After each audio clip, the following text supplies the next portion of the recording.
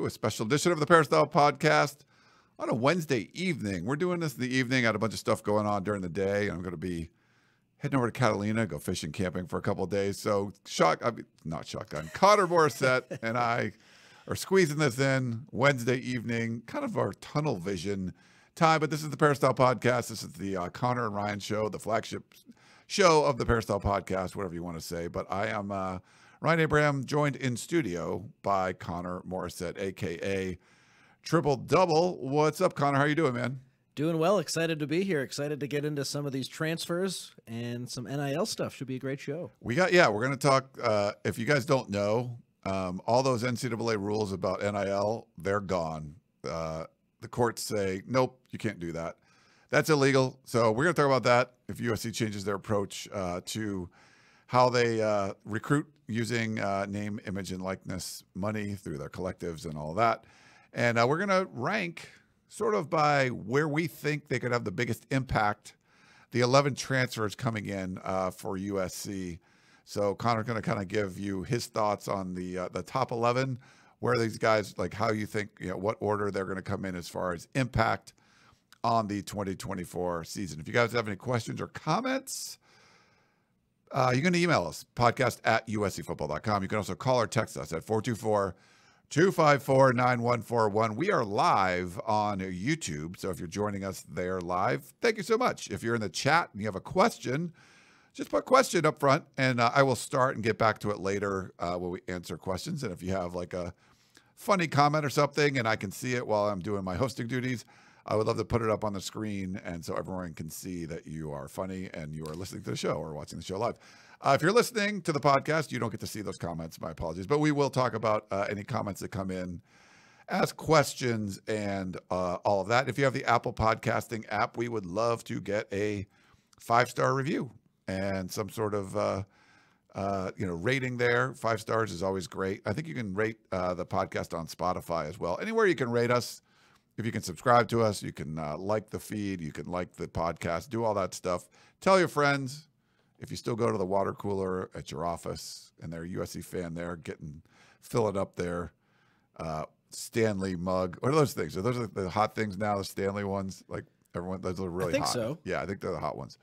Filling up your Stanley mug at the water cooler. You got a friend there that's a USC fan. Just tell them. Tell them about the Peristyle podcast. Hey, I'm gonna go hear what Connor has to say about NIL and ranking these transfers. So, uh, yeah, th- thanks for being here. We appreciate you guys being uh, everyone that's here live or listening uh, wherever you are listening. We do appreciate Trader Joe's as well. Uh, Connor, I mentioned I'm heading over to Catalina.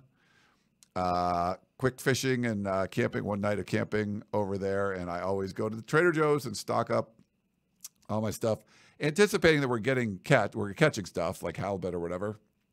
So I buy this vegetable medley from Trader Joe's and uh, grab one of their lemons and some butter from over there. And, uh, you know, on a camp stove, I kind of melt the butter and get the, the uh, season up the veggies and, and cook them up there. So it's a really good side for the, uh, the fish that we'll grill or, uh, or fry up there when we're over there. So a lot of good stuff over at Trader Joe's. And I, I think the last time I do, I bought, I got I still got to go there tonight. Um, buy the, uh, chocolate covered pretzels. That's a good snack for the boat on the way over there. So one of my favorites. I heard last time you went fishing, you had the hot hand, so hopefully that continues. I did. Yeah, that was it was good. Uh, got a keeper halibut. I got the biggest leopard shark I've seen. It was a, like I held it up. It was to my nose. I mean, it was six feet tall. So uh, pretty cool. We throw those guys back, but we you know. Halibut, the goal is halibut over 22 inches. Those are the ones we can keep. So I got one of them, but it's good. You get every halibut, you get like four fillets out of. So it's just pretty good meal. Um, so appreciate that. A Cortman says, uh, smash the like. Yeah, please. If you're watching live, first of all, thank you for watching live on YouTube, but smash that like button. Um, I was, uh, I was in the desert on Monday. The, uh, I think it was the fourth annual. So Olive Crest, uh, golf tournament. Olive Crest is a charity in throughout Southern California, and they they work with foster kids, trying to get them, you know, when they you know age out of the system. A lot of them end up homeless and all this stuff. So they really help these kids coming out of uh, foster care, or if they need help in foster care. And Darnell Bing, Dr. Darnell Bing, now he's been on the a guest on the show. Um, he's really involved with the charity, and they got me involved, so I've been on the board uh, the last couple of years. But we had a really good time. Um, I, this is uh, this is my foursome.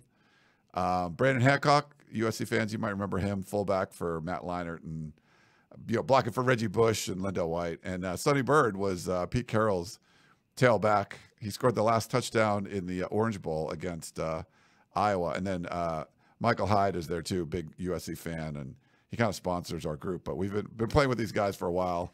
It's uh, it was a lot of fun, and there's a bunch of players that were there. So uh, Jalen McKenzie, who just graduated a couple years ago, he's uh, with the the the uh, Las Vegas Raiders now. He was there. Darnell Bing, uh, Jim Abbott, and some other players. Juju Smith, Schuster came out. Um, it was cool to see him. Sua Cravens.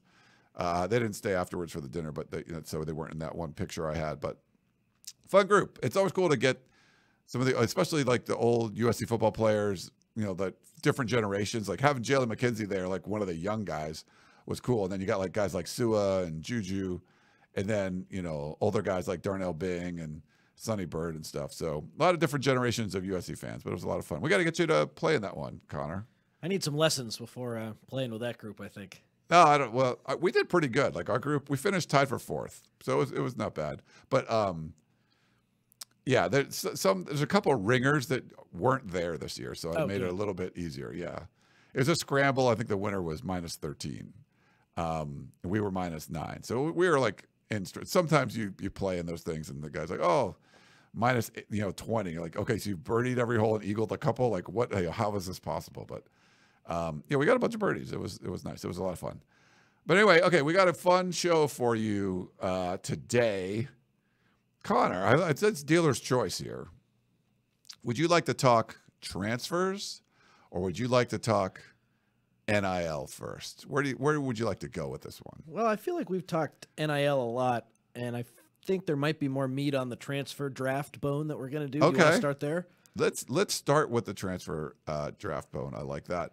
Um, 11 mm-hmm. incoming transfers so far, and that will change obviously with the second window coming up after spring practice. But heading into this first spring practice season for USC, um, 11 transfers coming in, and yeah, so let's draft them. Yeah, it's going to change up a little bit. Um, you, people could still transfer in, but with the academic calendar, it just this isn't a transfer time. It's not. There's no window open to enter the portal, but there's a lot of players that are already in the portal.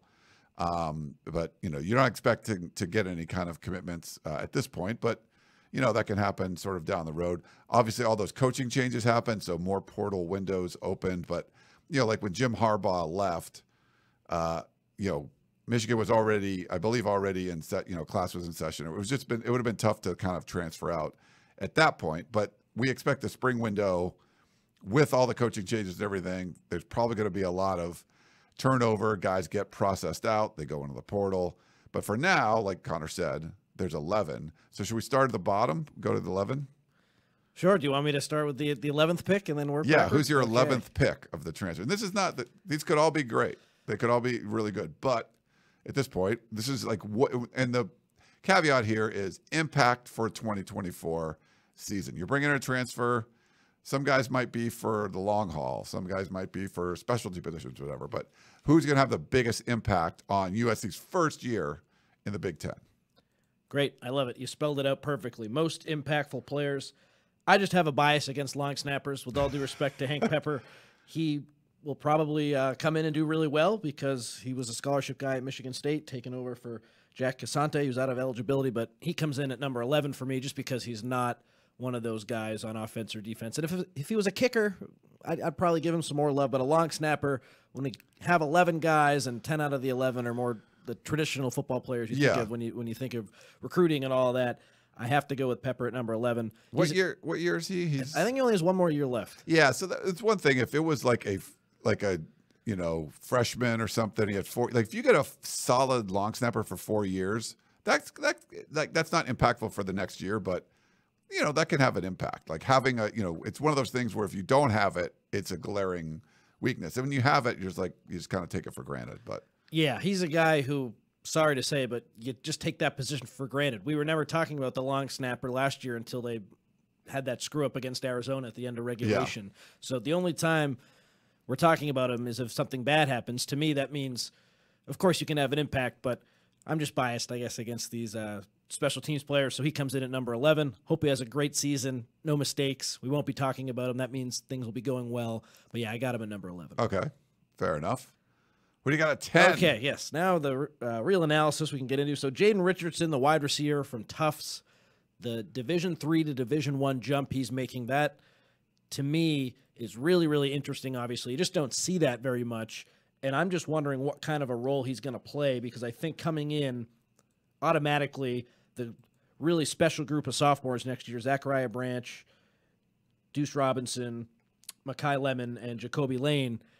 I feel like Richardson will just be behind them, and that fifth receiver spot, it could be him, it could be the freshman DJ Jordan out of Sierra Canyon. It's sort of up for grabs, and I think if you're the fifth receiver in Lincoln Riley's offense, that could be big.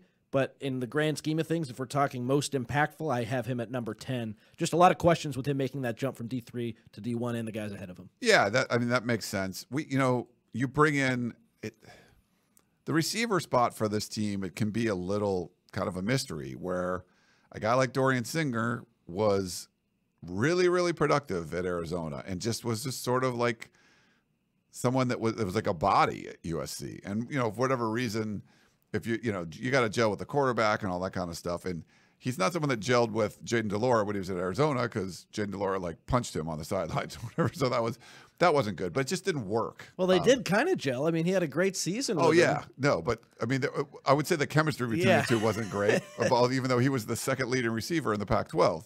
Um, but someone like this could come in, you know, and and and have a bigger impact than you think. Like Mm-hmm. I don't know if Taj people thought Taj Washington was going to be the end all, you know, coming over from Memphis and just was really really productive. So he could be the guy. Like if he's the fifth receiver, but like very productive, picks up a bunch of third downs, you know, like whatever it is. Like okay, you know, you could see that, but. I, you know, I think I would agree with you in this one that you know it's it's not one that you're like expecting a guy from Tufts to come in and crush it, but you know, there's that potential there. Mhm. And if he comes in and does great, that's amazing. But if he doesn't do as well, and it is like a Dorian Singer situation, with Dorian Singer, he had this track record of, hey, I was so great last year. You need to keep giving me chances.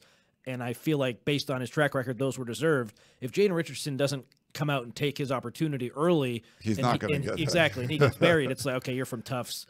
We're, we're- you're kind of lucky to be here in the first place, and that sounds harsh, but you know what I mean. Like, it's just different when you come from Tufts, and if it doesn't go well, I could see another guy overstepping him and probably overstepping him for the long haul. I think since we're both from you know Massachusetts, we maybe we're biased against Tufts. Like Tufts, like no, the, who comes out of Tufts? Like that's what, people don't even know what that is, but like yeah, it's like if you go the to New England, baby, yeah, New, is that what it is? that's their league. Um, yeah, if you're in like New England, you can basically, you know, every town has a college in it, so it's just they're they're everywhere.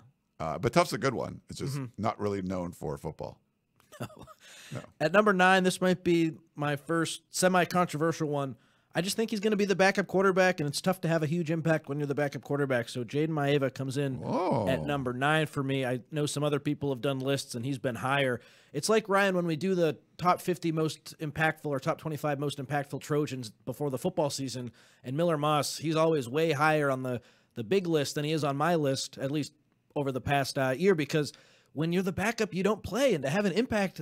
Of course, you can help in practice, but I was with you. I didn't have Miller Yeah. Moss high at all. you, like you need to be on the field and at quarterback there's only one guy who's going to take the majority of the reps obviously we'll see if he comes out and wins the job then he skyrockets to number one because he's the quarterback and that will be obvious but to me if he's a backup and he's not going to play at all unless there's an injury i don't know how you can have him very high No, I, I agree with you there. Now, the, the thing is, you know, Lincoln Riley said he he has a chance to win the job. So Uh-huh.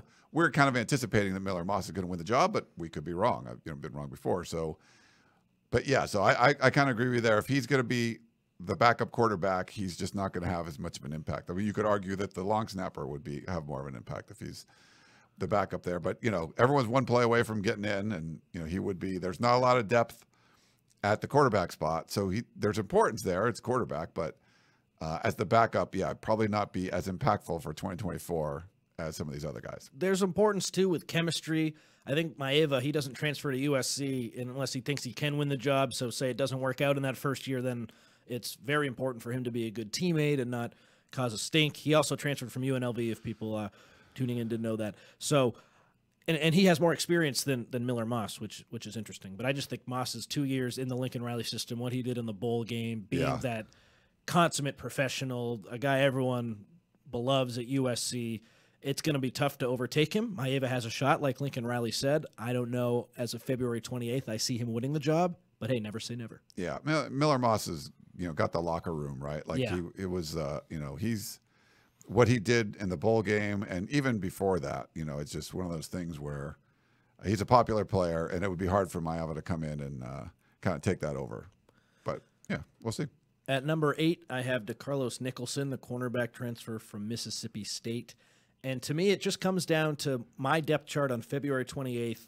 I feel like John Humphrey is probably going to start the UCLA transfer at boundary corner. And then if he can stay healthy, Jacobe Covington, I think, is that other starting corner. So right away, DeCarlos Nicholson doesn't slot in as a starter. And I think the rest of the guys on my list have a chance to start. So that's why he comes in at eight.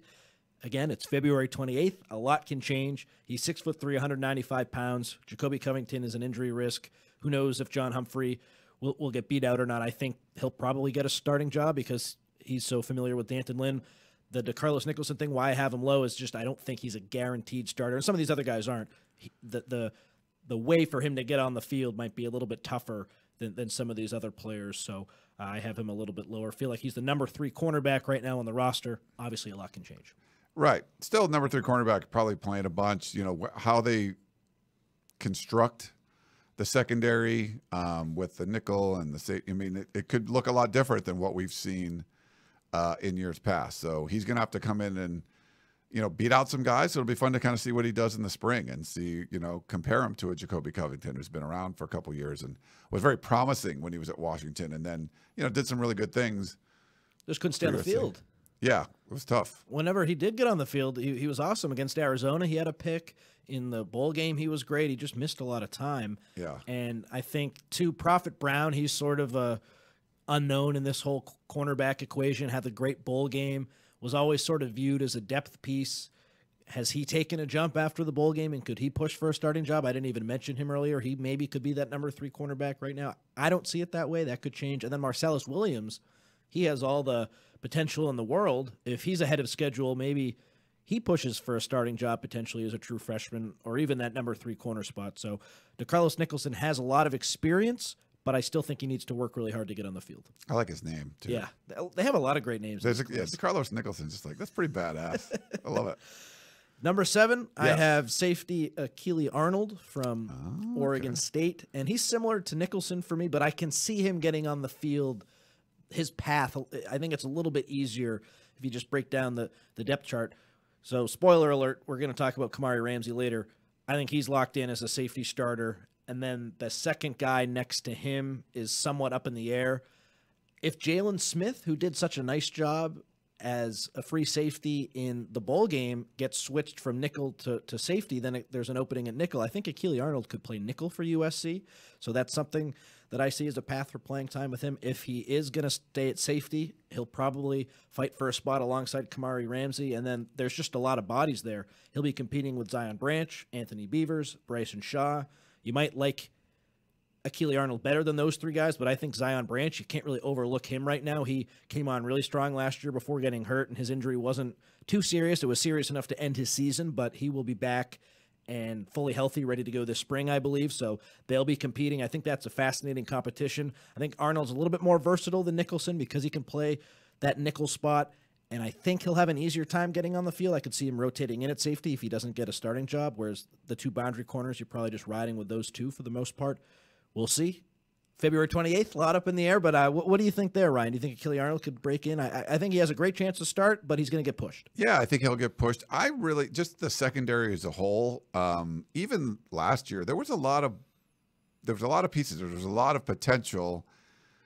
It's and some guys shine, but it just you know when the defense is that bad, it's really hard for anybody to be good. You're now I feel like there's a bunch of you know potential starters. There, there's a lot of bodies there that guys that you could see being you know Big Ten starters, uh, and you're just not sure. Maybe they're third on the depth chart, or maybe they're a starter. We, you just don't know yet. but you have good coaching to go along with it, and you feel like they're going to be put in good positions, that someone's going to, you know, rise to the top that you maybe you didn't expect. So I, I feel like these all all these guys are going to have a better opportunity, put in better spots, and you know, guy like Arnold, I think he's been very productive in college. I mean, that helps when you come in familiar with, you know, football here on the West Coast. Um, but you know, he you know he seen UCLA and you know D'Anton Lynn's obviously coming from there, brought a couple guys with him. Um, so I'm, yeah, I'm curious to see how this kind of all shakes out. Like this is some spots there's just not like you know we talked about the quarterback spot. There's just not a lot of people there. There's not a lot of options. Like there's only a couple roads you can go, and I feel in the secondary all through this there's a lot of different options. And like you said, like oh, is Jalen Smith going from uh, nickel to free safety? Does that put Arnold at, at, at nickel, or who's going to, you know, maybe it's someone that comes out of the blue, or Marcellus Williams or something that comes in and like takes one of those spots and then moves everyone else around. I feel like there's there's options and there's people can get moved around, and maybe it's even like a a musical chairs thing where you're trying to figure out, you know, where where am I going to go? It's like someone locks down. Oh, if someone locks down the nickel that you didn't expect, then kind of maybe pushes other people around too. So long answer there, but yeah, I think there's a lot of options in the secondary. I also, like I said on the last show, the one we did with Chris, so two shows ago actually, I think the secondary is going to be the best part of the defense. That's the unit I feel the best about right now between D'Anton Lynn coming in and his experience as a secondary coach in the NFL, but him bringing two guys from UCLA. You have some solid returning players there, even though you were killed at the cornerback spot in the transfer portal. I, I really like what they're doing there, and it all depends if you can get pressure on the quarterback because it's tough to play defensive back if you you got to cover a guy for a long period of time. if they're not getting pressure, that'll change things. Yeah, I, I think the secondary is going to put a band aid over some of the limitations though on this defense heading into next season, and I, I really believe it's going to be a, a, very very good unit because I like what D'Anton Lynn's done, and I just like a lot of these guys. That's a lot of talent. Yeah, for sure. Number six, I have Nate Clifton, the defensive lineman transfer from Vanderbilt. He had seven and a half tackles for loss and five and a half sacks last season. Only Jamil Muhammad and Solomon Byrd matched that on USC. So right away, he's someone who's produced in the SEC, who has a good track record. I think he'll be in the rotation for sure. Good chance he starts. But who else has experience and that kind of production and that kind of versatility? Because he can play on either spot on the line. I'd, I'd say no one when you throw in versatility to The experience and the production, Bear Alexander comes to mind, and Jamil Muhammad, of course, will be back. But I think Clifton is a versatile piece, and sometimes we'll see him on the edge, sometimes we'll see him on the inside. I predict he'll start on the edge. That's where I see him beginning the season and beginning games. I, I think he'll be in that starting rotation. But for me, I just think he has that production and that talent that USC, they don't have a lot of proven commodities on their defensive line. He's one. He should play a lot. No, I agree with you there. Uh, love the versatility. Um, if you're productive in the SEC, especially at a team that's Snakes. not very good, um, but could he be like the Jamil Muhammad kind of guy that came in and just just did a lot of things? You know, helped this defense in a lot of different ways. He's going to be very impactful if he's starting on the edge uh, for this USC defense. So I think I, I, think you needed guys that are you know smart, productive, um, good teammates. He just seems like he's all those things and will fit into whatever D'Anton Lynn uh, and the coaching staff kind of wants him to do. So yeah, I, I think he can be a you know if he started on the edge, he's he's very impactful, maybe higher than even what you have him here. I think the ideal situation is Isaiah Raikes plays a lot of nose tackle, and then that frees up Bear Alexander to play defensive tackle. Whereas if Nate Clifton is in there and Raikes isn't, I think then you'd have to have Bear play the nose, nose which yeah. he did last year a lot. I, I, don't think that was exactly what USC envisioned him doing, but he kind of had to because they just didn't get enough production from other players. So I still think USC is really, really thin on the defensive line. Yeah. They have some guys with great potential, but you just got to see it before you can say they're in a good spot. And I think Clifton has a great chance to help him out. I'm just so fascinated. I think out of all the guys who we've talked about so far and all the newcomers, I want to know where USC and D'Anton Lynn thinks his best spot is because he said last year I played on the inside, but the or, or I forget where, but last year he played one specific spot, but the previous years he played the other. He can do whatever the coaches need him to do. I want to know where they think he's best. I agree with you. Let me flip the page here. Oh, to nice. Top You- five. Wait, you have actual like paper? yes, I, I like to do notes by hand. That's great. Like that's especially someone your age. That doesn't happen. You know, like It, it when I write stuff out, it helps me more than when I type it out. I, I don't know. Maybe because I'm a lefty.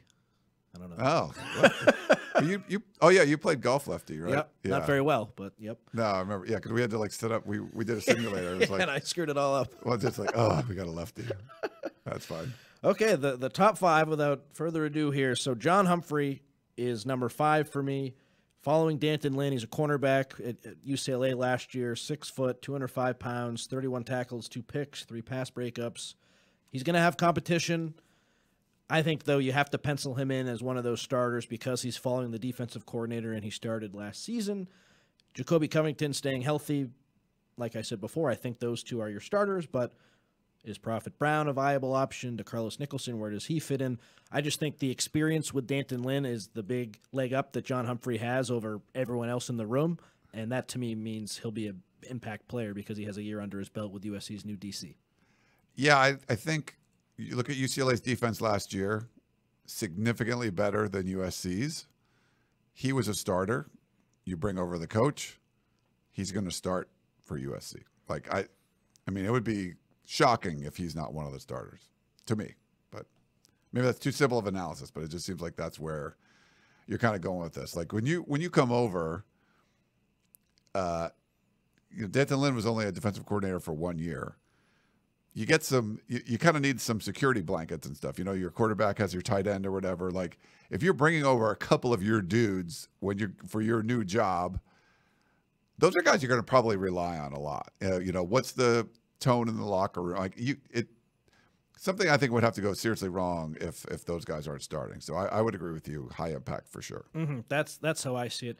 Number four. So this is a guy who's high on some people who've done these lists and, and low on some other people who's done them. If you follow other USC writers who have put out lists like this, I know Chris did one and he's really high on Isaiah Raikes, and I am too. I have him at four, the defensive lineman transfer from Texas A&M, but I understand why some people would have him lower because he was only a rotation piece last year for the Aggies. He started a handful of games earlier in his career, didn't start as many last season. 17 tackles, three tackles for loss. He just didn't get a ton of time, and he was a highly rated recruit. Played enough though to to obviously warrant a transfer to USC, and I do think there's a massive need there, of course. So I, I- see him playing a lot. My one concern is it's a new coaching staff, but I thought Kyon Barrs was going to come in and it was going to be Bear and, and Kyon Barrs and problem solved on the inside of the defensive line. That, of course, didn't end up happening. So the defensive line, it's just so much rotation there. So maybe he plays fewer snaps than some of the guys lower on the list. But I think from an impact perspective, he's another proven commodity, even though he doesn't have a ton of time under his belt last season. I, I, I still think he's way more experienced than a guy like Elijah Hughes at USC, who you're relying on, I think, to be in the rotation again. And he has a lot of upside, but you'd take Raikes, I think, if it's like a fourth and one game on the line over Elijah Hughes right now. And to me, he's just something that USC desperately needed. And I feel burned for, by Kyon Barrs last season, so I, I'm kind of going back and forth. I'm a little conflicted about having him at four. I, I just don't see how he doesn't play a lot at six foot two, 320 pounds. No, and Lincoln Riley saying we need to be bigger. We need to be bigger. This is the biggest guy you have now. He's a big dude. I, that picture. I'll put the picture up again if you guys didn't get. If you're watching on YouTube, I mean, a massive human being. You need this. You need these kind of guys, and I thought Kyon Barrs would have a bigger impact Yeah. if if Kyon Barrs was transferring in this year and he had D'Anton Lynn and that staff. I think they he would have had a bigger impact. Like it was just one of those guys coming in the transfer, not productive defense. It just it just didn't work out. Um, so I I'm higher on this one here. I think you know four three. I mean, I, I yeah, I would definitely have him in the top four.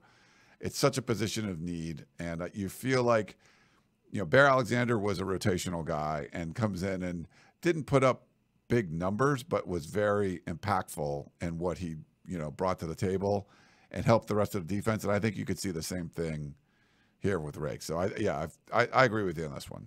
I'm just concerned that if it, if it doesn't work out, it's like, oh, you know, we saw this last year. I, I hope it's different. The staff is, of course, different. So we, we got to take that uh, when we're talking about this. So, okay, top three. I, I feel like Real quick, a- Logan oh, said uh, Raikes clogs the middle, allowing Bear to get the penetration and sacks slash TFLs. yeah, ideally, that's uh, that's how it should look. I, I think that's what, what they're looking for. That's how they see it. And I mean, it looks good on February 28th. I keep saying today's date because so much time has to go by before we see it on We the got leap year tomorrow. Oh yeah. Any leap true. year birthdays out there in the chat? Let us know. Um, happy. Uh, you're probably like 12 years old or something if it's your birthday on leap year, right? so yeah, nice. into the top three. Yes. And I have a big squiggly line here on my notes because I feel like there's a pretty good top three, and then there's somewhat of a gap. I start at number three, Easton Mascarenas Arnold, the linebacker, transfer from Oregon State. I think you pencil him in as a starter. He'll come in. He should have a big impact. He is up and down a little bit. If you look at PFF grades, you don't want to live and die by those. He would have had the best rating out of all the linebackers on USC's team from last season, but that's because the USC linebackers were so bad. He was all Pac 12 first team last season, 107 tackles. I just feel like he was brought in to fill a void. He'll start, and I hope that the weakness that really plagued USC's defense last year, their linebackers, by adding Easton Mascarenas Arnold and bringing back a bunch of those other guys, it's just going to get better with some new coaches. So that's the hope there. Some people have him at one in some other list. I have him at three, and I can explain why in these other two guys coming up. I, yeah, I'm I'm good with this too. Uh, looking for years, um, USC's defense, Yeah. and like I remember when like Todd Orlando was was brought in, he was a linebackers guy. You know, like Grinch was a secondary dude.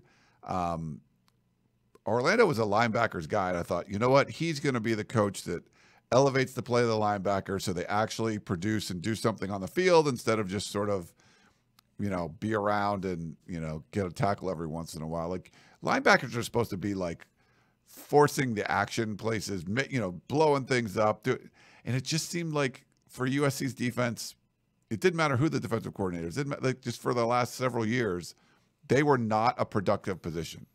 You know, the leading tackler would be like the nickelback or a safety or something. And, um, you know, every once in a while, a linebacker would have a good game, but not that consistent. Like, or a guy like Arnold, who's first team, you know, all uh, all Pac-12, and I think he led the team in tackle over 100 tackles. Like, you want dudes like that, um, and you got a dude like that. So that's great. Mason Cobb was kind of like that guy, and seemed to kind of fall into some of the USC, you know, whatever bad bad juju at linebacker. So we'll see if that can if you can overcome that. But you want those productive players in there at that linebacker spot, and you the better coaching you're hoping. I mean, you got a national championship winning head coach to coach the linebackers now. You better be damn productive in that position. They just haven't been for years. So looking for some kind of improvement here, and then getting a guy like that, a proven proven contributor, is a big deal. And I see Mascarenas Arnold as being a solid linebacker. I think his ceiling, eh, that's sort of what it is, in my opinion. I don't think he's going to be a superstar on, defense or like this other guy we're going to talk about in a second, a superstar on offense. The top two guys on my list, I really do think have superstar potential, and that's why I have him in my top two. I think Mascarenas Arnold, he was first team All Pac 12 last season. Some people listening to this will be like, well, what more do you want from the guy? I, I think statistically, he, he was re- reliable, made a lot of tackles, good player. I wonder if Mason Cobb maybe could be better than than Easton Mascarenas Arnold. Could he make a big jump with better coaches and a better guy a- alongside him? I, I I wonder just if Mason Cobb maybe has the tools to to put together a better season. And I, I don't want to make this sound like I'm negatively arguing for, for, for Easton. He's the number three most important transfer on my list. I, I just feel like he's going to be solid, and I, I wonder if uh, there's some other guys around him who might be even better. Yeah. All right, who's your top two? Okay, number two, Jo'Quavious Marks, the running back Oop, from sorry, I put the wrong picture up there. Mississippi State. I thought last year Marshawn Lloyd was the second most important transfer to USC behind Bear Alexander, and I think Jo'Quavious Marks he'll have even less competition at the running back spot unless USC takes another transfer in the second window.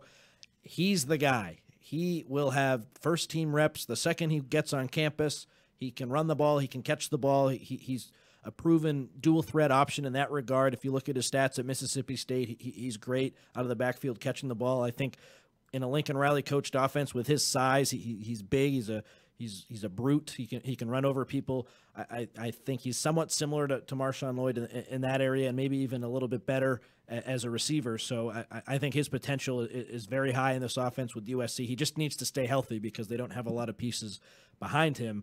I think he really does have superstar potential in this offense, kind of like Marshawn Lloyd last season. If Lloyd cleaned up the fumbles, he that was really the only knock against him. That and some pass protection, but he, he was electric. He's going to be a high draft pick, probably third round, maybe even the second coming up. I could see Marks having a, a similar trajectory with a great season at USC. Yeah, I think there's uh, the sky's the limit. I think for Marks and you know what what happened in Lincoln Riley's first year, like Travis Dye comes in you know before he got hurt, but was a team leader, instantly you know was incorporated into everything and was very productive. Austin Jones, same way, coming in from Stanford, two transfer running backs.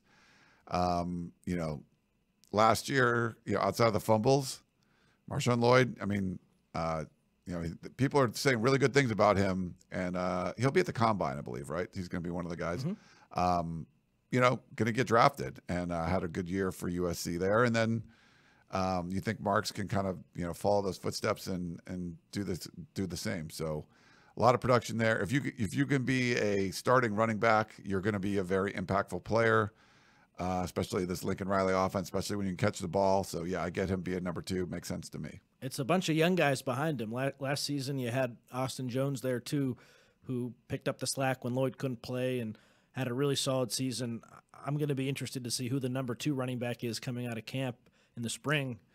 Because is it Quinten Joyner who played a little bit early on, but then got buried after fumbling late against Notre Dame. They just don't have a lot of experience. A, a Marion Peterson's behind him, and then a, a, a true freshman, uh, Brian Jackson, is behind those guys. So I, I, think they need to take another running back at some point. I'd be surprised if they didn't. We'll see. Of course, they need to find a new running backs coach right now. It just seems to me, yeah. Ryan, like Marks, he he's so obviously the starter, and, and that when when you're going to have that much of an opportunity and you have the talent that he has, I, I, think he really has the potential to do something special. Agree with you there, and I think by process of elimination, I know who your number one is. Yes, because I mentioned him earlier. So, Kamari Ramsey, the safety, is, is my number one, and I just think he's a damn good football player. And when we heard D'Anton Lynn, when he we heard him in person for the first time when he spoke a couple weeks ago with the other assistants, he said there were guys who, when I installed our defense, really got it and really went, went with it and ran and, and, just got better and maybe were even better than I expected. And then there were guys who didn't get it, and I was surprised by that.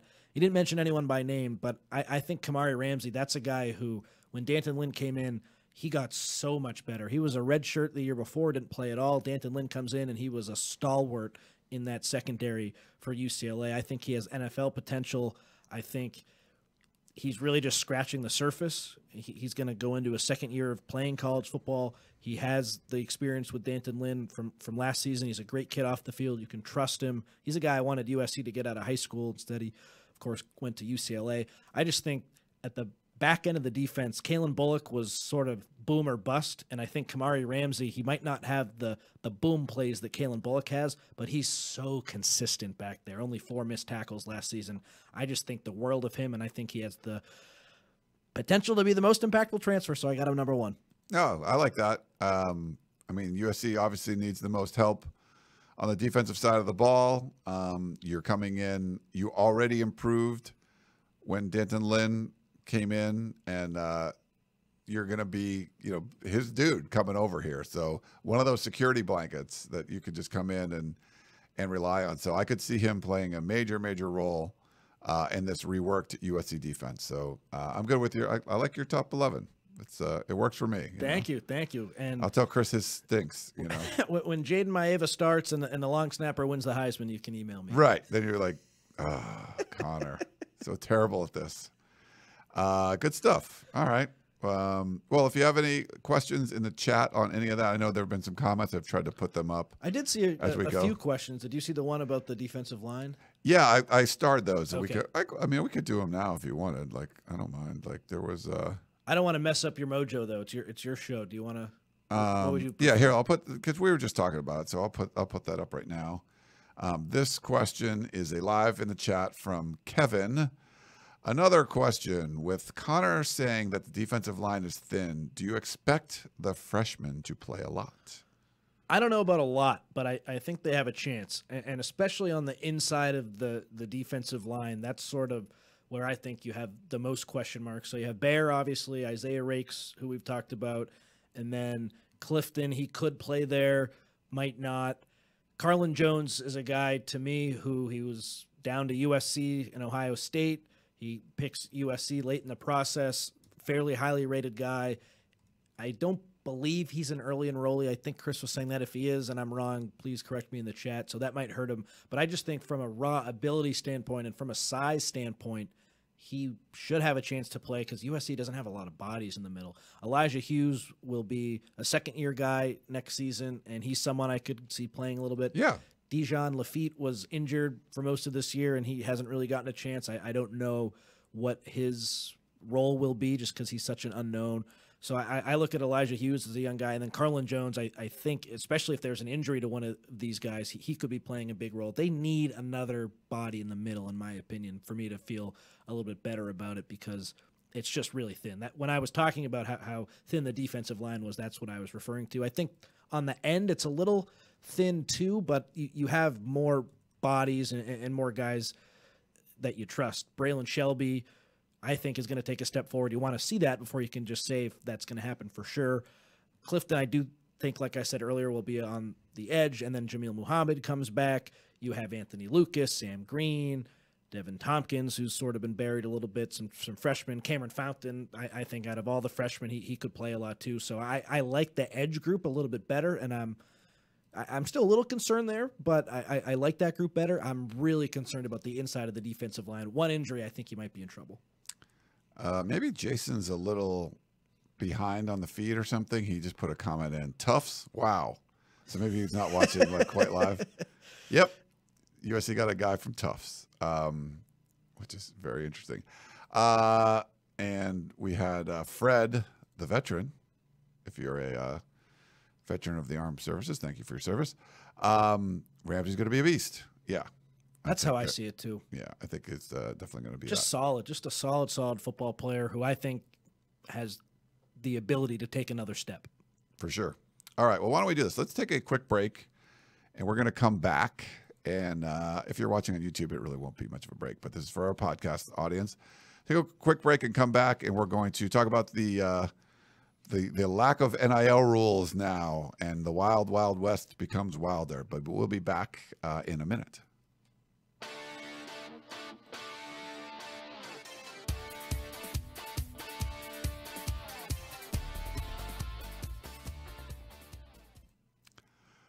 All right, we're back here on the Peristyle podcast, and uh, hope you guys enjoyed the first half of the show, breaking down the uh, incoming transfers and looking at the, each of their impact and potential impact on the team in 2024, the first season in the Big Ten, which is exciting. Um, we got to talk a little bit about NIL now because um, this offseason has been we're talking about impact, the most impactful one in college football history, you could argue. I mean, there's been so many things that have happened um, this offseason. It just things are it's crazy. Like changing the sport as we know it. I mean, there were things like, you know, the GOAT, Nick Saban retiring, and the the the ripple effect that had throughout college football where you know, it at the very end of it, like Bill O'Brien leaves Ohio State to be the head coach at Boston College, and Chip Kelly leaves UCLA to become the offensive coordinator for his former quarterback Ryan Day at Ohio State. Like stuff that all that stuff happened because of like Nick Saban leaving, and then you know Jim Harbaugh uh, go you know winning the national championship at Michigan and going um, to the NFL, going back to the NFL, like stuff like that those would be the biggest stories like of any offseason. And they're like big, but not even like the biggest things that have been going on. I mean, the fact that unlimited transfers was okay, well, now you can transfer out and and that's happened. Okay, that's just you can transfer whenever you want. There's nothing we can do. And this latest one um, with the court ruling, I mean, there's been a lot of losses in court for the NCAA, and it basically has just taken away most of their you know power as far as what they could do. And we need to talk about you know in the NIL space where as soon as the NCAA didn't even release the notice of allegations, but they, um, you know, it was leaked or whatever, and they were, you know, usually the school gets notified, but nothing was officially released. Tennessee was ready, and North Carolina and ten, was it Virginia, North or Virginia and Tennessee, the attorney generals for those states. Attorneys general, isn't that so stupid? Attorneys general. That that's the plural. Okay, attorneys general. That it, that always bothers me whenever I read it. It should be attorney generals. I know that's wrong, but that just sounds way better. Yeah, attorneys general uh, for those two states. Um, they were ready and uh, Oh, yeah. lost the first like what was it the pre- like preliminary? I forget what it was the first one, but the the latest ruling was just an absolute crushing blow for the NCAA. Now, yeah, it was a court somewhere in Tennessee, but essentially, what Tennessee was saying was, "Hey, we didn't break any rules, but the rules you think you think we broke are not real anyway. Those aren't legal." And th- what it boils down to is, for years and years and years, I mean, the NCAA. I think originally the NCAA was to protect student athletes because there wasn't any kind of guidelines and and college football players were like dying right like there was like this is 75 80 whatever long time ago and then but it then it became like the institution to protect amateurism which in the beginning when sport the sport wasn't making a lot of money it was fine you know um things changed. What was it like 84? I think it was the Oklahoma ruling that they would allow, like, you could sell your TV rights, and then the, the conferences were able to control television. And instead of one game being on a week, like, you know, everyone's on national TV every day, you know, every game now. So things have changed. Obviously, the revenue dollars have changed. You're going from, you know, making hundreds of thousands of dollars maybe to millions to billions now. And it just became to the point where the amateurism thing where universities get tax exempt status and they don't have to pay the players they can get free room and board and all that stuff. The ncaa fought forever to keep that model. And the alston case was what you know pretty much a death blow. If you're going to the supreme court and you lose nine to nothing and the you know i think it was justice kavanaugh who wrote the opinion that was basically like yeah this isn't going to work. And if i ever see you guys back here again i'm going to like ruin your whole like your whole model's dead. Like your model is illegal. And that's what the courts just recently said is that you cannot limit the you know it's the antitrust laws come in where you can't say a student athlete can't make this money. So if it's coming from the collective, uh, if boosters are involved, the NCAA had all these rules. You couldn't, you know, uh, it can't be an inducement. Anything that would prevent them from earning a living, it's going into the antitrust laws, and then the the courts are saying you can't do that. So pretty much everything the NCAA, all those rules, everything that they were trying to protect was all about amateurism, and like that's just been ripped up any sort of NCAA rule about NIL is gone. Like boosters can be involved. You can, uh, you know, USC is one of those schools that was kind of following the rules more than other people. Um, you know, if you want to have a student athlete come to campus and talk to your collective and say, we can get you a deal here and do this. All that stuff is legal now. Like it, you, there's no rules against it from the NCAA, even though there, you know, there was kind of this, these vague rules before. So the courts really just kind of took away everything. You know, I, I'm not sure what's left, like for a compliance department to do in a university, because you're basically learning all these rules and following them, and the courts just keep shutting them down. And so it was pretty wild. Um, I know it's a long kind of uh, ramble in there. I don't know if you disagree or agree with anything I said there, Connor, but I'll let you I'll give you the floor about this crazy. Yeah, basically, like society has all these rules and you just know that there's rules. Like, hey, the rules are there, and the, now they're gone. You're like, oh, you do whatever you want. It's like the purge or something. Like, I don't know, everything, everything goes. Go murder, do whatever you want. There's no rules when it comes to NIL payments. So if you know that big Miami booster wants to just you know, put a post on Instagram of him handing out like a million dollar check to a player. Like, yep, you can do that. Like, there's there's nothing you can do to stop it from the NCAA side. Well, I've been banging the NIL drum for a while. After National Signing Day, I wrote the column about how Oregon was just cleaning up against USC in, in recruiting and how NIL had to do with it somewhat, but it also had to do with just recruiting in general. And I felt like their staff, those guys are dogs and those guys grind on the recruiting trail. So it was a combination. And of course, the money helped.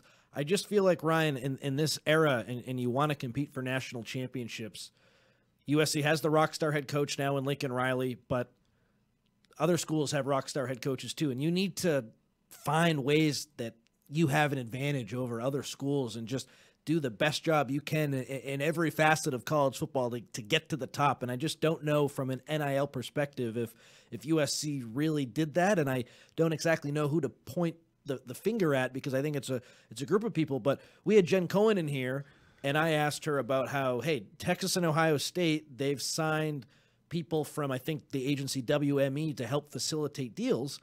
And she said, oh, well, you know, that's technically against the rules. We're, we're not going to do that.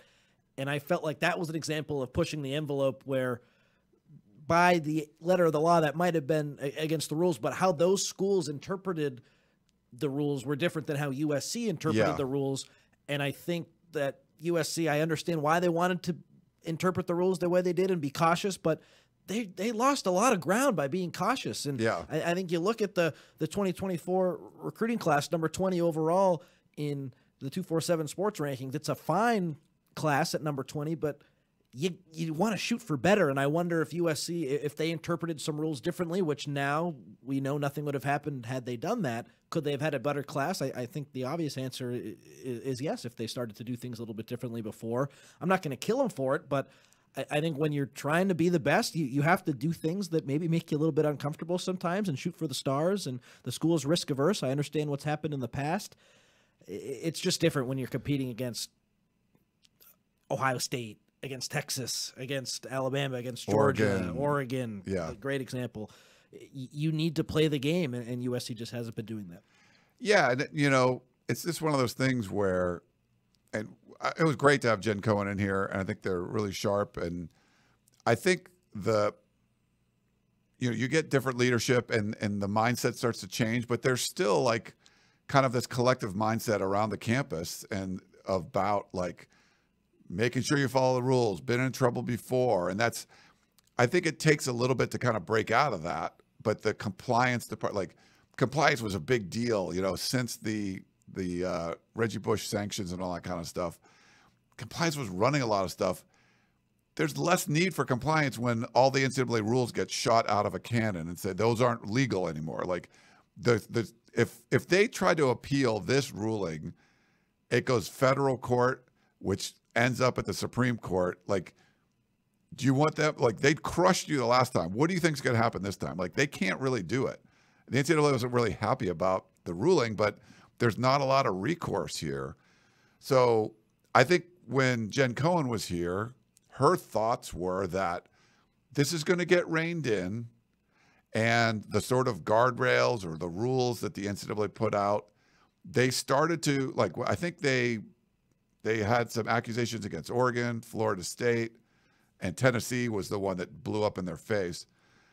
And I think that a lot of people that were there's schools out there that were like USC, they're sort of like following the what the letter of the you know, intent of the NIL laws were or whatever rules. Um, felt that okay, eventually this will get reined in, and it, you won't be allowed to bring your collective on campus and meet the prospects and be this involved and all that stuff. And a lot of people felt that that was the way it was going to go. It went the opposite way. It was it's very different than that. It was basically and a lot of these schools were paying players before, so they had sort of the infrastructure in place once it became legal. Uh, then they were ready to go. Um, I was impressed how fast, excuse me, collectives popped up, and I was like, I mean, the rule just happened, and like Texas A&M had this collective going. It was like people, I mean, they were ready for this. And, you know, USC really wasn't that ready for it. You know, they were just, they're behind. They're behind. They sort of extra followed the rules, got behind on that. I get, I mean, I can understand why you're doing that. But now, how does USC react. And talking to some sources, I think it's still they're still figuring this out because it's sort of like this was you were following. It's I, mean, I don't know if this is a good analogy, but like if you're you're you join some cult and you have this like leader that you're following, and it's just like, hey, and there's people from the outside saying, don't follow that guy. That's not no no. He he's gonna like lead the way or she's gonna lead the way, and then that guy they, they, go away and now you're like now you have no like what do we do our whole point was we were going to follow these rules because they were this was the right thing to do and maybe usc still thinks it's the right thing to do but the rules are gone the rules are ill like literally illegal you can't enforce those rules you can't impose those rules and then it's sort of just like well we were being these great rule followers and the rules are gone and so now what do we do so i i don't think from what I've heard, that USC's like out there dropping bags uh, at you know high school players. Um, they're still in the works of things, and though we're coming out of a dead period. Yeah, that's what I was gonna say. Yeah, dead period. That's still a big rule, and that ends the last day is March third. So, coming out of that, will we see some different things happen and some more recruiting activity potentially? But who's to say? We'll see. Yeah, and I, I think one of the the biggest aspect is USC when you get when you sign and you're enrolled, the collectives are very involved, and USC does a good job, I think, with getting players paid. It's the before that happens, they're not they haven't been good. They're not if a if a recruit comes to campus for an official visit, for example, and we're going to get official visits this spring, USC hasn't had the collective involved in that where other schools have. Like that's a difference. Like other schools are saying, we're going to let the collective, you know, which are boosters and all that stuff, be a part of this official visit. And USC was not. So I'm told that that's something that is probably going to be happening now, but they're still kind of working on that stuff. But those are sort of the things where, you know, if Oregon is like, has Division Street, their collective, you know, former Nike executives, all that stuff, involved in the recruiting process. I mean, that was one of the things that Tennessee did, where they, you know, the collective and the coach and the prospect all kind of came together, and the NCAA wants that separate, and USC has been keeping that separate, but now you can make it, you could work. So. I don't think USC's jumped in yet, but they're they're still coming up with their plan of what they want to do. But for me, there's really no reason to not do everything that these other schools are doing because it's all legal. And if you're not doing it, it's a personal choice. It's like that's there might be schools that don't want to recruit that way, and if if, if you don't, that's fine. But other schools will, and you're going to get an advantage by by doing that. I do think too the one other frustrating thing is talking about interpretations of the rules. There are people involved in NIL collectives at USC who meet with other collectives and other people at other schools and discuss their interpretations with them and have a lot of really good information and those same people then meet with USC and I think if you if your USC had done a better job of listening to some of those people who they're committed to you but they do a nice job of getting information f- from other collectives and here's what's going on in other schools can we try this and just I, I feel like when anything would ever be brought up it was like oh, the rules are going to change in the future we got to wait for that or no we're not going to do that Yeah. we're not going to do that and I think that really hurt them. And again, I understand why they did it because of what's happened in the past. But hindsight, of course, is twenty twenty. And looking back now, based on these court rulings, you have to say that was a mistake. Yeah, here's a comment from Traeger, uh, Trek no Trek Ranger. Sorry, I'm saying that wrong. Sorry, it's been a long day. Uh, keep the NIL, but put a limit on how much you can pay a freshman some kind of salary scale. Eh. Antitrust, illegal. What you could do, Collective bargain. this is where it's going. We're gonna there the collect the collectives will be part of the school essentially. So why why can the NFL have a salary cap? Because It's collectively. they have collectively bargained that. So they're all employees. So you can't do that in this case. Um, it's free market. You have to just let them earn what they earn. If some freshman is, a, you know, phenom and has like 10 million Instagram followers, like, okay, uh, Bronny James, like seven million Instagram followers. He can make a ton of money. You you put a cap on that? Like, no, you can't do that. So what we're going to get to is players will be. This is going to happen in the next couple of years, probably. Like this has changed a lot. So we're in these weird phases now. The schools will be paying the players directly. Like that's going to happen. Some sort of employ, and and I know this opens up a whole different can of worms, but some sort of employment. Maybe there's a breakaway. There's a lot of talk about a breakaway from the NCAA. That you know, even Charlie Baker, the president of the NCAA, you know, came up with this sort of uh, new division, super division thing where you would pay everybody thirty grand a year, or half your student athletes thirty grand a year. Something like that is going to happen, where school, you know, you know, collectives could just like donate money to the schools, and the the schools can pay the players. There's contracts could guys get cut and all that stuff? Yeah, maybe. I mean, all that kind of thing. But that'll be collectively bargained. I still think there's a lot of talk in the chat about becoming the NFL. No, it, it's still going to be different. It's still going to be college, but there's so much money being made. It's like you can't. You, you had to. You, you're to have to get there at some point. Like all these rules that you put in place, all the amateurism stuff is just. Gone. When you're making billions of dollars on TV, it's just hard to say you can't pay these players. Like you have to be able to pay them. And maybe in the future, you don't put waterfalls in the locker room and you don't pay a coach $11 million a year because you'd rather put some of that money towards players. Like, I think this could change a lot of things, but you might be cutting, like, coaches' salaries might not be as crazy as they You might, maybe you don't pay $2.5 million to a defensive coordinator anymore. I don't know. Things are going to change. They're changing a lot. This has been the most like, impactful offseason we've seen but this court case is like a huge, huge deal, just basically wiping out all the NIL rules.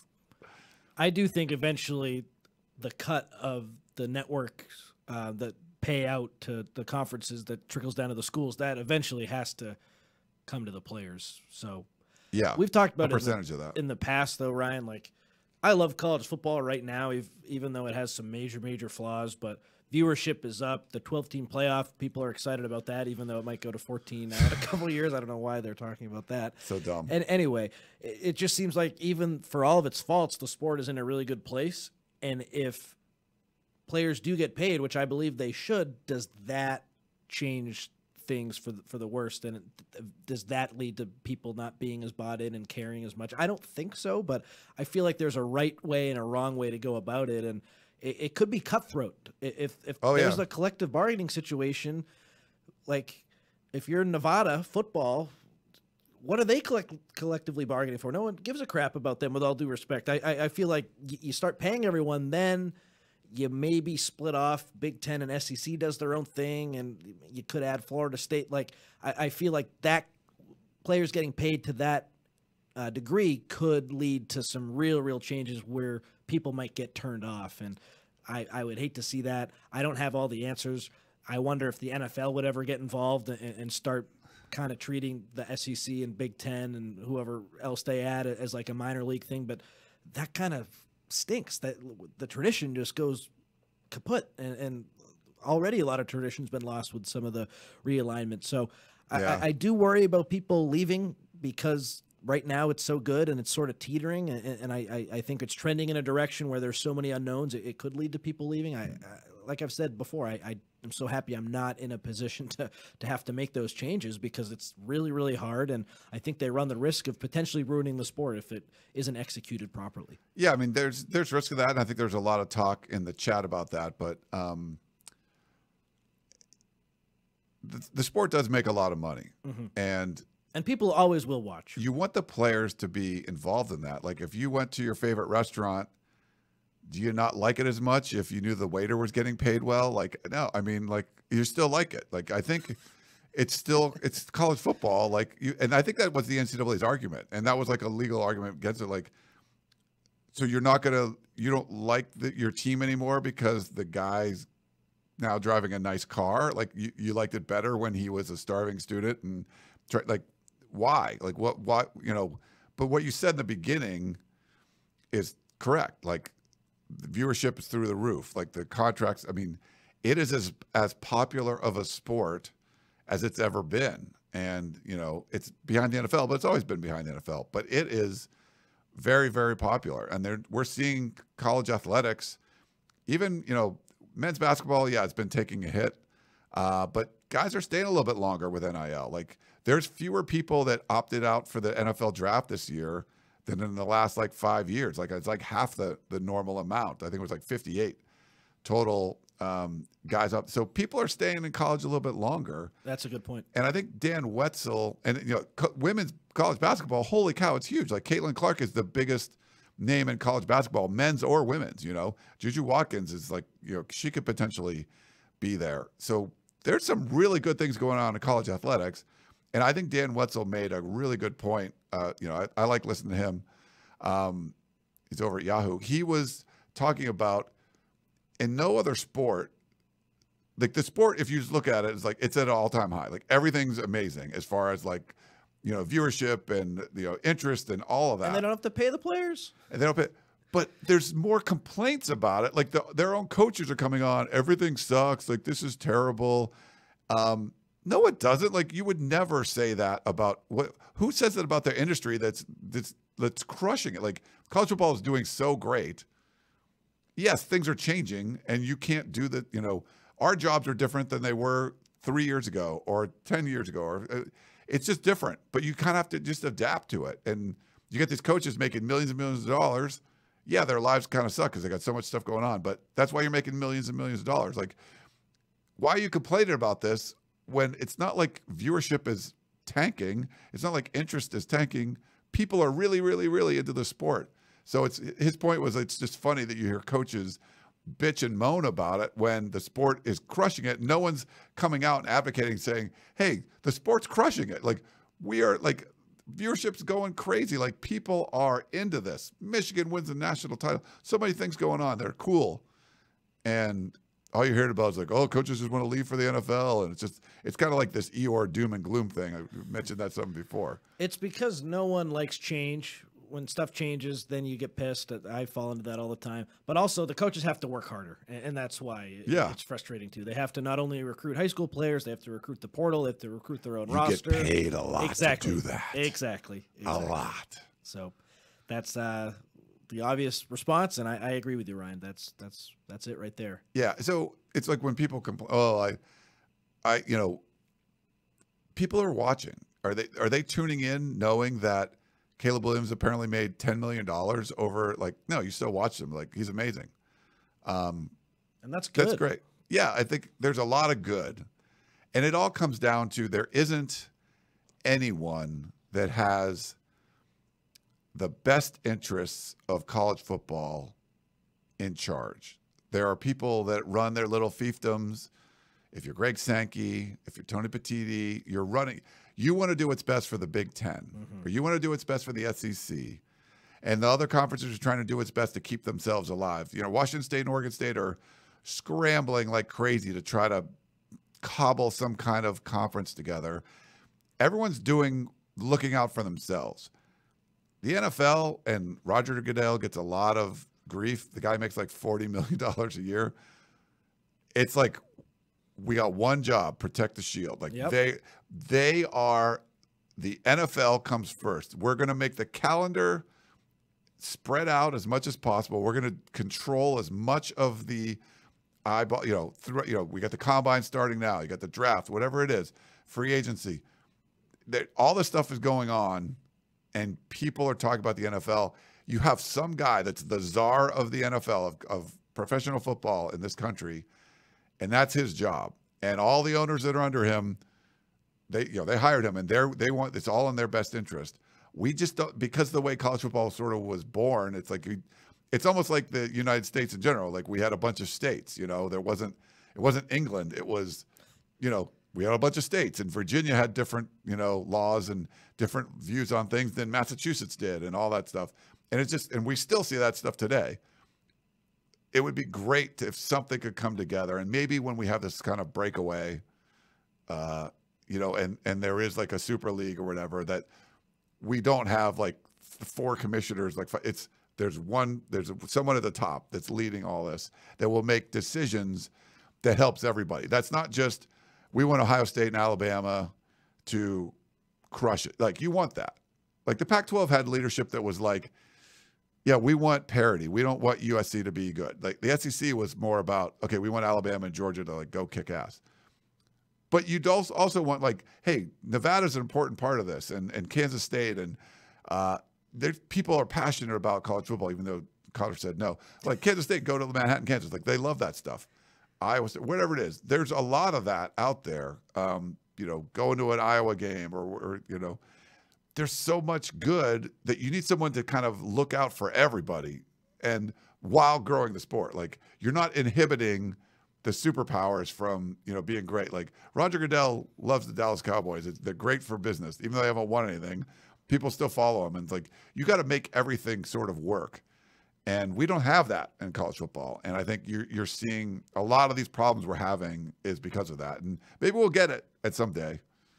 I've had a lot of rants today, Connor. Sorry. no, it's okay. I, I just to, to respond to that, uh, what you're saying, it sounds like you're arguing for like a minor league there because I think it's impossible for someone in charge, unless it is like a minor league setup, to to really truly be in charge of just college football because the commissioners, of course, they care the most about football, but they have a responsibility to basketball teams and to all the other programs in their conferences, and then the school leaders like Carol Folt, for example, she has a responsibility to help athletics, but she cares more about the school. And at the end of the day, these are all schools too. In the NFL example, all the owners they don't have to worry about all these other students and all you know yeah. all these other issues. They just have to focus on football. And I don't know if we'll ever be in a position where the leader only can focus on football unless it's a minor league setup or maybe just the Big Ten and the SEC kind of go off and do their own thing and it's just a totally separate entity. Because as long as it's intertwined with school, we're trending towards this crazy world where college football matters so much. And if my mom is listening, she'd be like, I don't give a crap about college football. These kids should be going to school. That's the most important thing. So yeah. this is all about school. It, it is separate, it's trending that way. And in order for someone to be in power and focus exclusively on football, I do think it would have to be totally separate and then that leads to some other problems. So I think they can do it without being like a, a minor league. Um, and maybe it's just the major sports is all kind of coming together. Um, you know what's interesting is you mentioned, you know, these are college students still, at least for now. Um, and people talk about maybe that not being the case going forward, but that might be where the NCAA has the most sort of leverage still. You know, there's nothing stopping they got shot down. You can transfer, like, you know, you get sued if you, you know, so you can transfer as many times as you want. But the academic standing part of it, like it, it's harder the more you transfer to be academically eligible. So I think that's kind of an aspect of it. The other thing coming up too is like there'll be, there's been a lot of talk of, you know, eligibility, four years plus a red shirt. Well, someone can sue and say you're you know, I'm a really good college quarterback and I, I won't be a good NFL quarterback. I want to play in college for eight years and, and make NIL money. I hope they lose their suit if that happens. I don't like that either. I think that's one thing you want to keep with the sort of uh, collegiate calendar, you know, the academic kind of calendar. But, you know, I would be like, hey, you get five years to play five. Like just no red shirt, just play. You know, you're there for five years, that's fine. And then you got to move on. Um, something like that. But there's going to be fights over that kind of stuff too. But I think the tie in with college, the part of college athletics, uh, the fact that it's still tied to college, at least for now, I think that can like sort of be like what the NCAA leans on on some of these arguments going forward. They're like, hey, we don't want you playing for eight years. Like, if you go to college for eight years, you're a doctor. Like, we're not doing that, right? So. Well, the problem is too. Some NCAA rules are good, like that rule. I, I think four and a red shirt is, is fine. I, I guess I could see it changing to five, no problem. But like, I don't think anything more than five makes a whole lot of sense, even if it's in the best financial interest of a guy who's a good uh, college quarterback, yeah. not a professional quarterback. So I like that rule. There are some other rules I, I don't like as much, and I think the NCAA it takes a ton of heat for, you know, the reasons are, are, are so obvious. People hate the NCAA, but there are some stuff that you need the NCAA for. Otherwise, it would truly be the the wild wild west and the, that example right there comes to mind i'm glad they have that rule of eligibility because if they didn't you'd have 40 year old guys playing college football yeah. which i think happens every now and then but i like that it's now and then not all the time right um, Logan says Bo Nix played for seven years. yeah, that you know, uh, COVID and Jake red Browning. shirts, yeah, the COVID thing. Um, that I think that's the fact that it happened when it did, and now this is coming up. It's sort of like, well, we saw a guy play for six years and no one died. Like let's, uh, like, you know, so there's going to be arguments for it. We just saw this, you know, happen. Um, so yeah, they, I, I, I'd rather, I'd rather it be like a five year thing, or you know, I, it's fine. I'm fine with the red shirt or whatever, but, um, yeah, I don't want to see it go like six, seven years. I just, I just think then it's really not college. Like that, you know, then you're you're not really going to school at that point, right? So, um, yeah, the kid from Georgia, uh, who's the uh, uh, Trek said uh, the kid from Georgia played for six years and he never graduated. Yeah, um, Stetson Bennett. Stetson Bennett. Yeah, which is funny. Like, wow, that's a lot of school to not graduate. So, um, was he eligible? I'm not sure. All right, why don't we do uh, some questions? Let's see if anything else on that. No, I think that's a good ending spot. Thank you guys for putting up my rants there, but uh, I have some opinions on this whole stuff. I like I like this kind of stuff. Uh, we got a text message from Mike in Skidoo, California. No idea where that is, but that seems like a really freaking cool place. Um, what is Solomon Tuliaupupu's status? Is he still with the team, and does he have any eligibility remaining? I don't know if his waiver has been officially granted or not, but he plans on coming back for a seventh season. And I checked in with Chris earlier. That's still the plan, he said. I think unless something happens unforeseen, he's going to be back. Yeah. Uh, that sounds cool.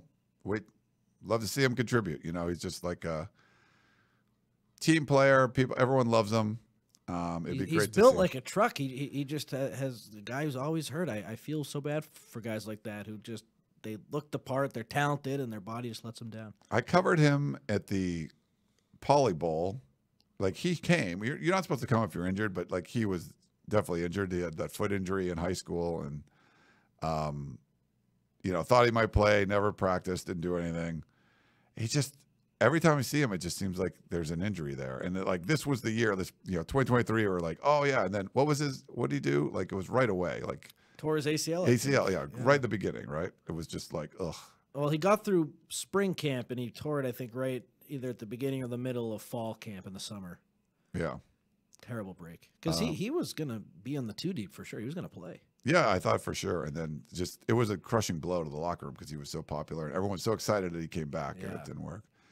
Swayze says that was some good ranting. Thanks.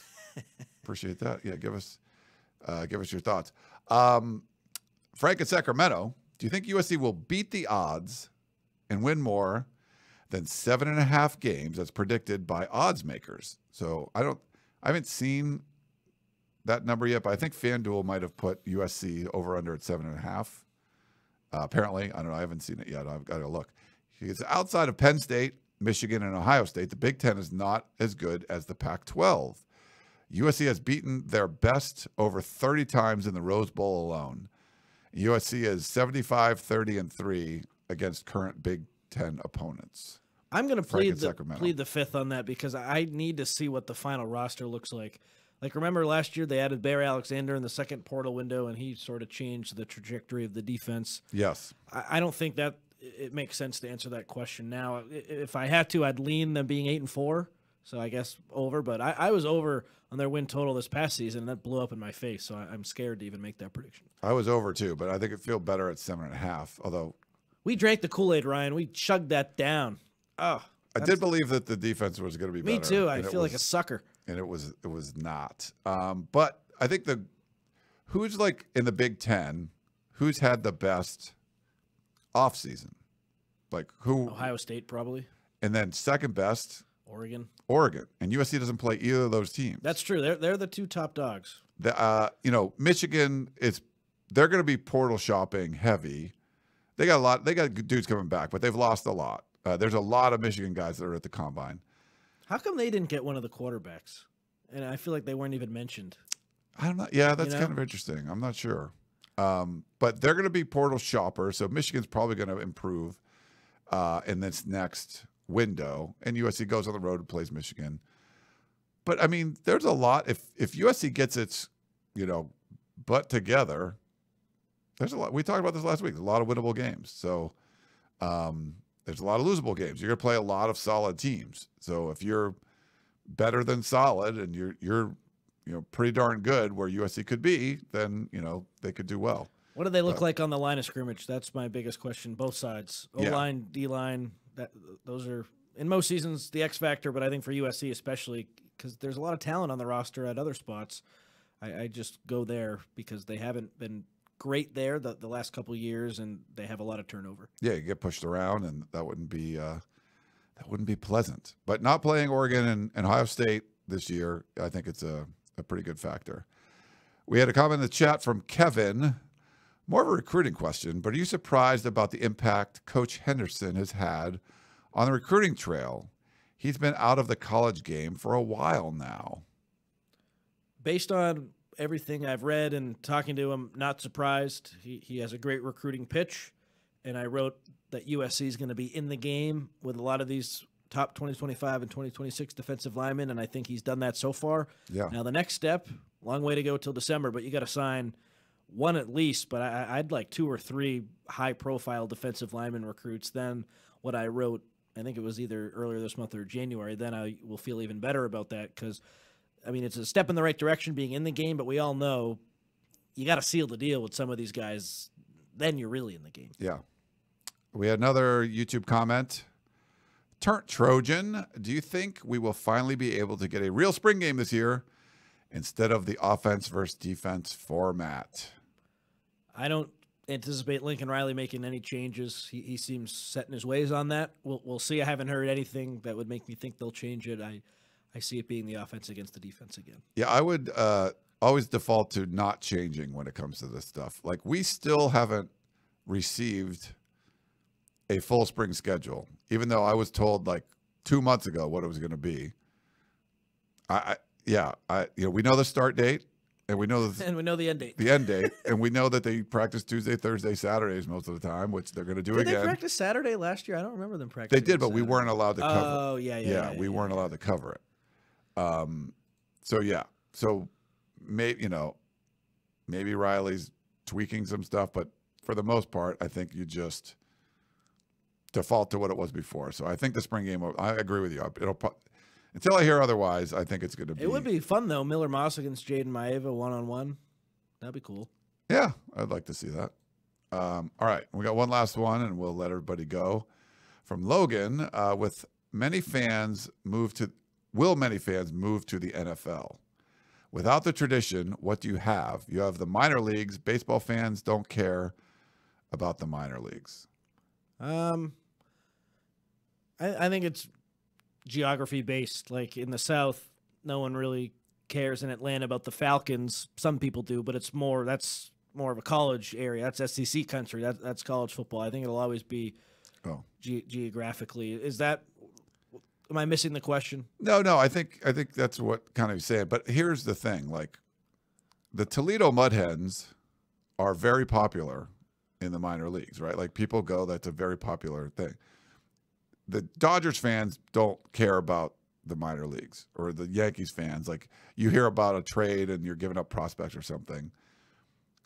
You, college football, go to these individual places. There's a passion if it doesn't matter what you said about the, I mean, do, the, the, the we talk about Kansas State, like if they're playing the Big 12 or if they were in the Mountain West or they got pulled up to the SEC, whatever it is, like they're going to show up and cheer the hell out of those guys and really care about their football team.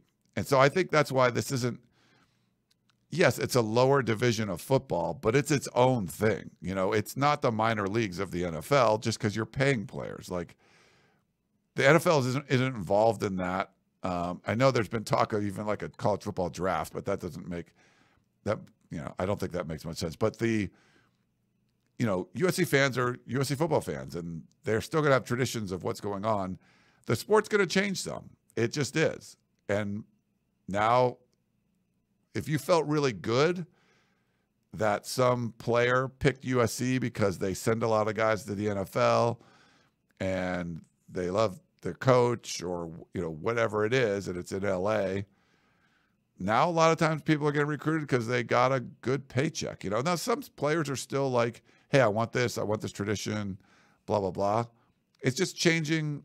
You know, the when you're when money gets involved, things are going to change some. But I don't think it makes it the minor leagues just because people are getting paid because people care about Iowa football and they care about Florida State football, and just as much as Iowa, you know, as Ohio State or Alabama, like those are not minor league. Those are major major programs, just at a different, you know, a different level. These are college kids. These aren't the pros yet.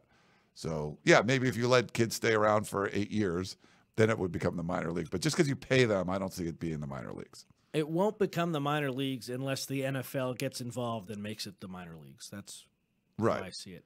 But and yeah, then I mean, then you would lose the you know, I, I think people still are going to show up and even if uh, they combine the Big Ten and the SEC and they're sort of Division One, and then everyone else is.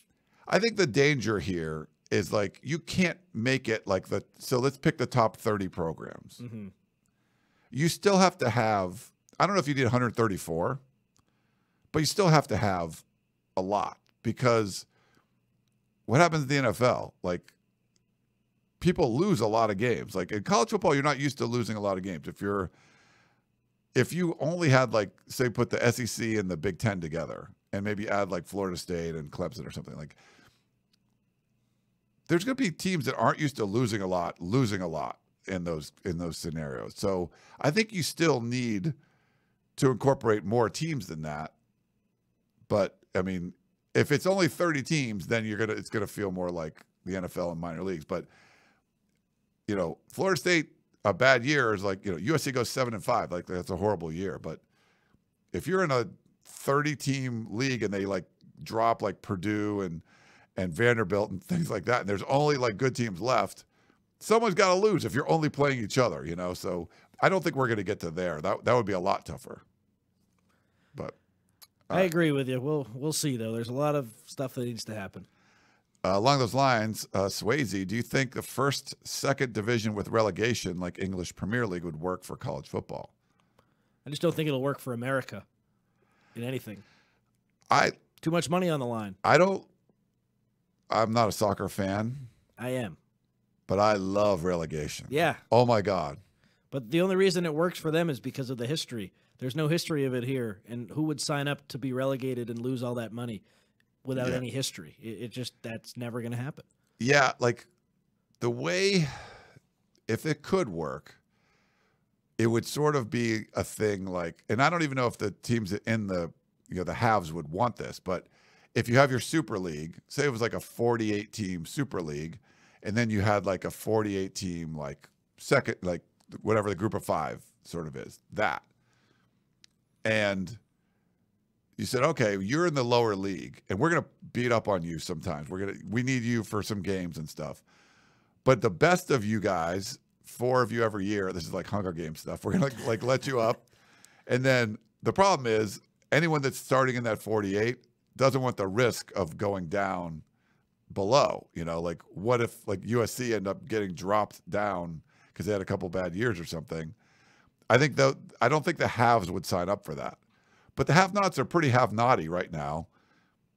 They've been that way. It's not like this isn't getting worse. I mean, I, I think the transfer portal has actually helped some of those schools. Like they get that third string tackle that Alabama wasn't playing, and then he starts for Nevada or whatever but they would have an opportunity to kind of move up. You know, um, I think that would be awesome to see. But like you said, like the money wise, I think it wouldn't. It's like a whole different thing. I, I don't think people would sign up for it. No, that that's something that I can never see happening. But I love that. Yeah, it's it is fun. I there was a Brexit. Was it the Brexit? Welcome to Brexit, or was like Wrexham? A, Wrexham, or, oh, something like Brexit. Oh, Brexit's the other thing. Uh, welcome to Wrexham. It was like a Netflix deal, yep. and uh, like Ryan Reynolds bought the team, or him, him and somebody else, right? Yep. I I was in, I think it was in Hawaii, and I was talking to a guy from like the next town over, like their rival, and you know, talking about like, yeah, they're like three, four divisions down, like where they were, and like what it took to kind of move up, and how that all works and stuff, and uh, how they love their their club, and that stuff's just really interesting. But there's a lot of history, and there's just like a lot. It's it would be like if you know Tufts was eventually trying to move up to play USC at some point. Jane you know? Richardson transferred back. Yeah. So like Ryan Reynolds buys Tufts University and then like puts a lot of money into him, and then they start moving up, make a documentary on that. But yeah, I'm not a soccer fan, but man, relegation, yes, so fun, especially in my old age. Uh, all right, well I think that's gonna. So no, Swayze said Manchester City and other big names went through relegation, so they've they've dropped down. Like the bigger brands have dropped down before. Well, they're not they they're not even a big brand. They are now that they got bought by a country, but they were they used to not be that big of a brand. Oh, We're getting into soccer here pretty big. Yeah, I don't want to do that kind of stuff. Um, but yeah, but like, so Man, like Manchester United, like one I've heard of, like they've never been. Have they ever been Not- relegated? I don't think so, but like a, a Nottingham Forest is a big team that has a lot of history. They've been relegated. Have you ever heard of them? Uh, no. How about like Liverpool or I don't think so? Anyone I've heard of probably hasn't been relegated. maybe someone, but most of the big big teams have never been. Okay, but that, yeah. So if that was happening, like, oh yeah, Man U or or Manchester United, like fell down and uh, came back up. They dropped down two divisions and then they won, but came, you know. But yeah, like You ever heard of Juventus? They got relegated because they got caught cheating. no. They're Juventus? like one of the biggest teams in Italy. Oh, okay. Interesting. Um, but yes, big fan of relegation. I don't, I don't know all about it, but just it just the concept is pretty freaking awesome.